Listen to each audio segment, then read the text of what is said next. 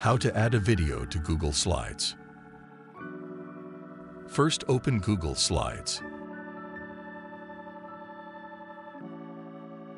Then start a new presentation.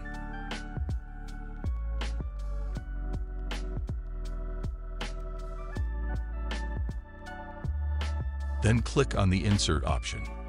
Then select the Video option.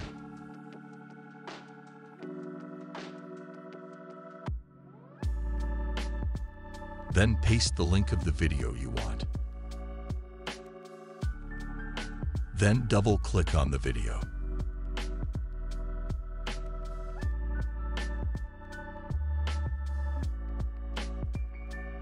After that, go to Format option.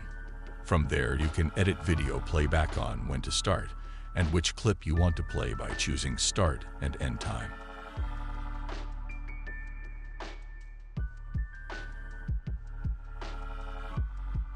That's how you can do it. That is how you can add a video to Google Slides.